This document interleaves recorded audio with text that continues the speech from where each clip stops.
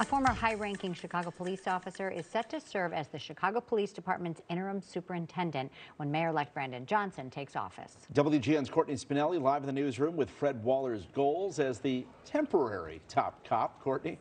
Well, for the third time in three months, the city will see a different person leading the Chicago Police Department. Today, Mayor-elect Brandon Johnson announcing effective May 15th, former CPD Chief of Patrol Fred Waller will step in as interim superintendent. He has the experience and integrity to lead the Chicago Police Department during this pivotal time.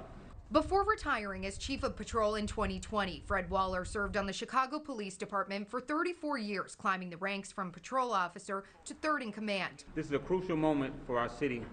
If there's one thing that could bring out bring me out of retirement, it was this opportunity to leave and return to the place that I've given so much of my life to.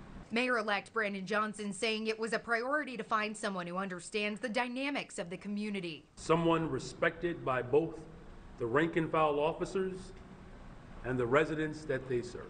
When he retired and moved into private security, Waller was well respected within the department, but late in his career received a 28 day suspension for using the word rape during a meeting while talking about a shift in patrol, leaving fewer officers to patrol in certain areas. He readily admits he used poor judgment. It was the wrong uh, choice of words. It was a, an attempt to uh, emphasize how much uh, uh resources were being taken from uh, patrol Waller says his words were phrased inappropriately but taken out of context and shares he gave up his vacation that year in lieu of taking time off work.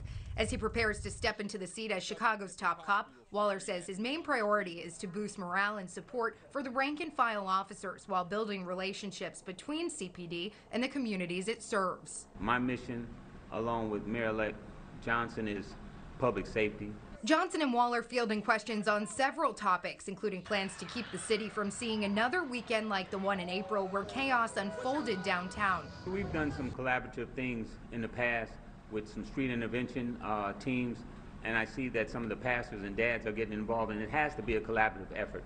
Retired Chicago Police Lieutenant John Garrido, who has been an outspoken critic at times of CPD, saying he believes a major challenge facing officers has been changing policies from top leadership on how responses to major events are handled. We're going to have these issues coming up uh, going into the summer on these weekends, and uh, how the person at the top handles that is extremely important. During Wednesday's news conference, Waller saying he isn't planning to apply for the permanent position. I think every step of the way, even the interim, makes a difference. This is going to be a difficult job. Whoever steps in and takes it over, the Community Commission for Public Safety and Accountability is the agency charged with submitting three finalists for the permanent superintendent position. It has until mid-July to announce the finalists. In the newsroom, Courtney Spinelli, back to you. Thank you, Courtney.